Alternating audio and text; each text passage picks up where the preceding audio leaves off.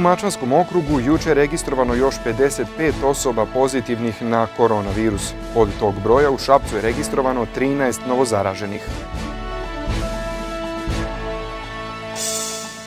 Spisak nevladinih organizacija, medija i pojedinaca koje sumnjiči Uprava za sprečavanje pranja novca pokušaj je da se očisti teren za budući period upitan za stanovišta opstanka ove vlasti, izjavio direktor Centra za istraživačko novinarstvo Branko Čečen za Fonet.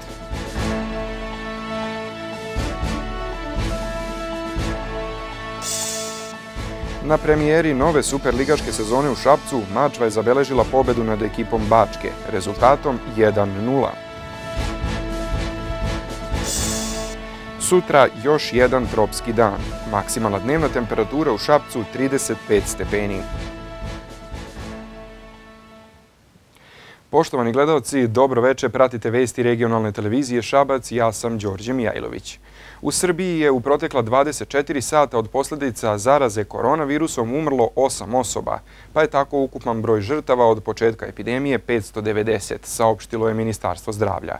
Od posljednjeg preseka testirano je 8395 osoba, od kojih je 311 pozitivnih slučajeva zaraze. Hospitalizovano je 4196 pacijenata, a na respiratorima je njih 146. U Srbiji je od početka epidemije testirano 686.488 građana.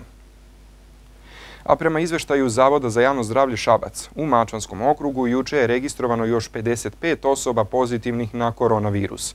U Šapcu je registrovano 13 novozaraženih, u Loznici 15, u Malom Zvorniku 8, u Vladimircima i Krupnju po 5, u Bogatiću i Ljuboviji po 4, dok je u Koceljevi zabeležen jedan novi slučaj infekcije. Ukupan broj pozitivnih u Mačvanskom okrugu je 2897, dok je broj aktivno obolelih 1937 navedeno je na Facebook stranici Zavoda za javno zdravlje u Šapcu a u ustanovama socijalne zaštite i domovima za smeštaj odraslih i starih u Srbiji, računajući i današnji dan, prisustvo koronavirusa potvrđeno je kod 272 korisnika i 86 zaposlenih, po troje više nego u subotu. To je danas saopštilo Ministarstvo za rad, zapošljavanje, boračka i socijalna pitanja. Ukupan broj izlečenih korisnika ustanova socijalne zaštite iznosi 653 a broj izlečenih osoba koje su zaposlene u ustanovama socijalne zaštite iznosi 261, navodi se u saopštenju. Ministarstvo podsjeća da su korisnici u tim ustanovama za koje se sumnja da mogu biti potencijalni prenosioci virusa smešteni u izolaciju, a takvi zaposleni su u kućnoj izolaciji.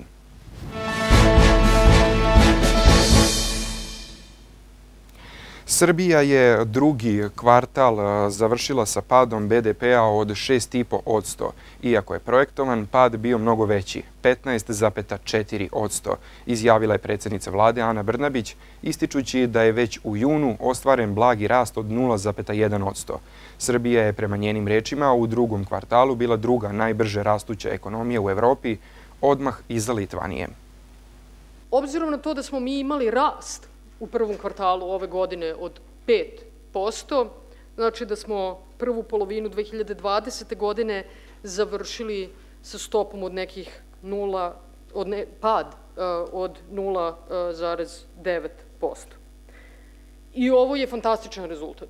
Zaista fantastičan rezultat. Ono što takođe izuzetno ohrabrujem, a to je uh, kako se ponaša naše tržište rada u ovom trenutku.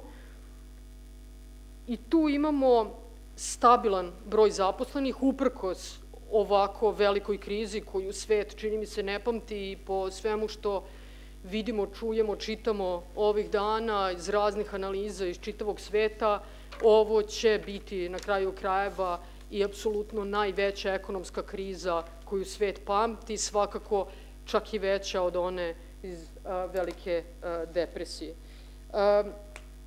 Mi u odnosu na, hvala, u odnosu na drugi kvartal 2019. godine imamo čak povećan broj zaposlenih za 1,6%. Spisak nevladinih organizacija, medija i pojedinaca koje sumnjiči Uprava za sprečavanje pranja novca pokušaj je da se očisti teren za budući period upitan sa stanovišta opstanka ove vlasti. Naveo je direktor Centra za istraživačko novinarstvo Branko Čečen i ocenio je da je ljubav organizovanog kriminala i ove vlasti nezabeležen u Evropi. Upravo za pranje novca, za sprečavanje pranja novca daje taj spisak, šalje taj spisak bankama i, ovaj, uh, i nakon toga tabloidi skaču i počinju da nas kriminalizuju i pišu da smo se uplašili, i to mnogo gorim jezikom od ovo ja koristim, jer smo perači para i financijere terorizma. Znači, šta je sledeći korak? Šta je sledeći logičan korak? A šta je? Pa ne znam, ovo izgleda kao pripremanje javnosti za, da, za neku akciju. Da li će ona biti legislativna ili će se prosto zloupotrebiti postojeći mehanizmi i što je najironičnije, ovaj mehanizam je razvijen u, u, u dogovoru sa Europskom unijom, jer je to deo strategije protiv uh, pranja novca i finansiranja terorizma Europske unije i svaka članica i one zemlje koje hoće da uđu su učestvovali u tome, razvijene strategije, formirana je tela i ovaj, kako se zove, sad se ono zlupotrebljava protiv nas. Država koristi aparat sile za pritisak i obračun sa novinarima, kaže urednik portala KRIK Stevan Dojčinović. Po njemu Srbija se na izgled približava ruskom modelu proizvodnje stranih agentura, ali smo još daleko od toga, jer ništa konkretnije nije urađeno po tom pitanju ovo konstantno traje u Srbiji 5, 6 i više godina. Mislim, mi smo pod ovakvim pritiscima i naše kolege iz drugih medija dosta dugo. Znači, setimo se uh, šta je sve, uh, šta su poreske, uh, poreska inspekcija šta je uradila južnim vestima. Nik po čemu nije blaži slučaj od ovoga što sada ovo gledaju. Mi smo imali velikih problema sa bijom. Tako da praktično u Srbiji je to kao već e, svakodnevnica da praktično država koristi e, aparat sile da vrši pritisak i obračunava sa novinarima. Tako da evo sad nova stvar što je uključena upravo je sprečanje pranja novca, što onako malo i čak i bizarnije zvuči, ali generalno to je ono nešto se u Srbiji dešava već godinama.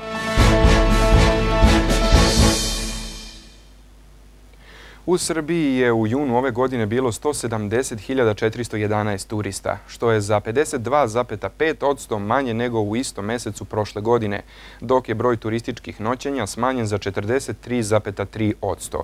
Objavio je danas Republički zavod za statistiku. Najviše stranih turista u Srbiji bilo je iz Bosne i Hercegovine, Nemačke, Bugarske, Hrvatske i Mađarske.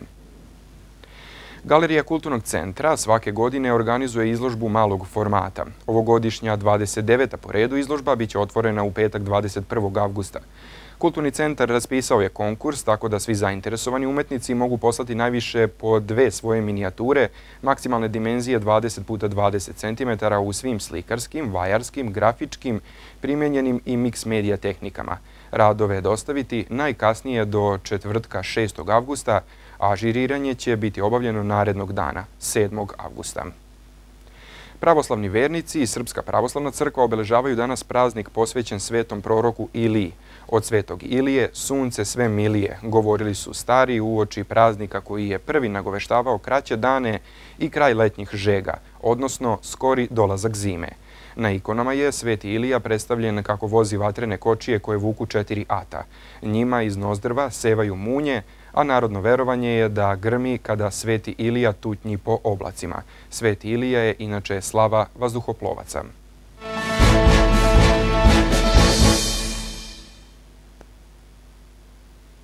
Lepim vestima počinjemo sportsku rubriku. Na premijeri nove superligaške sezone u Šapcu Mačva je zabeležila pobedu nad ekipom Bačke rezultatom 1-0.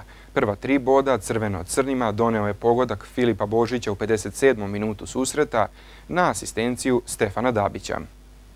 Šef stručnog štaba Šabačke mačve Dragan Aničić rekao je nakon utakmice da bi pohvalio ekipu Bačke zbog jedne dobre, muške i otvorene igre. Bačka je bila bolja u prvom poluvremenu, dok je mačva bila u nekom grču. Mislim da smo u prvom poluvremenu imali jednu 100% šansu Zukanović da smo to realizovali, ajde, ne bi bilo zasluženo, jer ipak ovaj, mislim da prvo polovreme nismo zaslužili da vodimo. U drugom polovremenu napravili smo neke, neke korekcije u igri, jer igrom slučaja Bačku e, ne poznajemo dovoljno, nismo, nismo imali prilike da vidimo kako igra, pa smo morali u toku utakmice neke stvari da korigujemo. Mislim da smo u drugo polovreme onda izgledali, izgledali mnogo bolje postigli taj gol, možda mogli iz nekog kontranapada da postignemo još jedan, ali mislim da je pobjeda od 1-0 sasvim dovoljna za nas. Sada, ne bi bilo zasluženo da, da, da, da smo dali drugi gol. Svaka čast mojim momcima na pobjedi. I rekao sam vam e, i u najavi utakmice da ćete gledati drugačiju maču, maču koja kao što ste gledali pre dve godine, znači borbenu, agresivnu i mislim da ste to, to danas i mogli da vidite. Dejan Rađenović, šef stručnog štaba futbalskog kluba Bačka, istakao je da su u ovoj utakmici bila dva potpuno različita poluvremena. Prvo poluvreme sam zadovoljan kako je moja ekipa izašla na teren, e, kako je igrala i ono sve što smo se dogovarali je ispalo kako treba.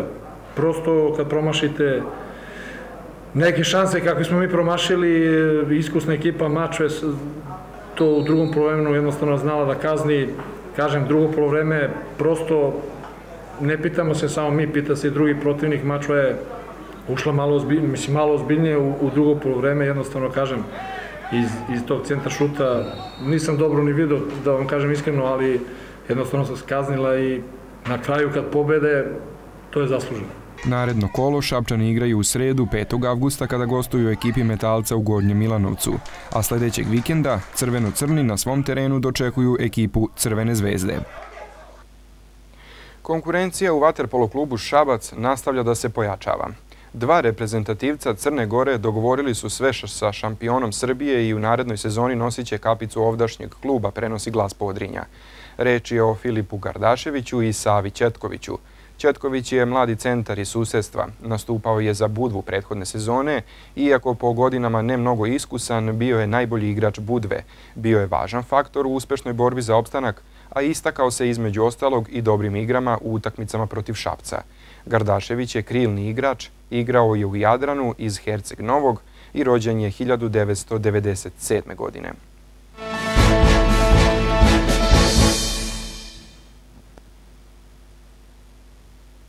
A u Šapcu sutra još jedan tropski dan. Pre podne će biti sunčano, popodne pretežno sunčano, duvaće umeren jugozapadni vetar, minimalna temperatura 16, maksimalna dnevna i do 35 stepeni. Oblačno i osetno svežije sa kišom, pljuskovima i grmljavinom biće u centralnim, zapadnim i severoistočnim predelima Evrope. U ostalim predelima biće sunčano i toplo. Na Balkanskom poluostrvu biće sunčano i tropski toplo, dok se na severozapadu očekuje na oblačenje i osveženje sa pljuskovima i grmljavinom. U Srbiji jutro vedro i sveže, u dolinama i kotlinama maglovito i hladno, tokom dana sunčano i tropski toplo. Duvaće slab do umeren jugoistočni vetar, u Košavskom području jak, a na jugu Banata sa olujnim udarima. Minimalna temperatura od 10 do 20, maksimalna dnevna od 30 do 35 stepeni. U Šapcu prepodne sunčano, popodne pretežno sunčano, duvaće umeren jugozapadni vetar, minimalna temperatura 16, maksimalna dnevna 35 stepeni. U utorak promenjivo oblačno povremeno sa kišom. U sredu umereno oblačno. U četvrtak promenjivo oblačno povremeno sa kišom. U petak umereno oblačno.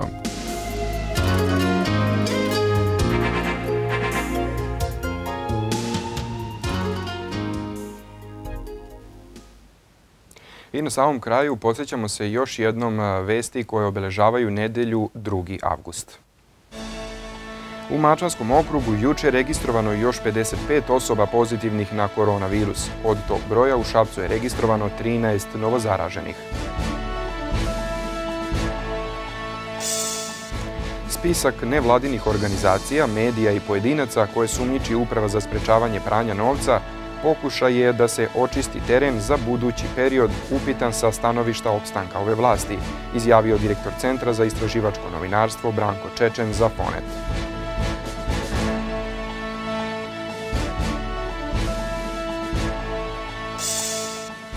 Na premijeri nove superligaške sezone u Šapcu, Mačva je zabeležila pobedu nad ekipom Bačke rezultatom 1-0.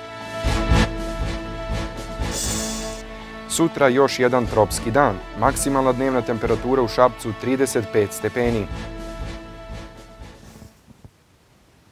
Poštovani gledalci, pratili ste vesti regionalne televizije Šabac. Hvala vam na pažnji i vašem ukazanom poverenju. Želimo vam prijatno večer. Ostanite i dalje uz naš program.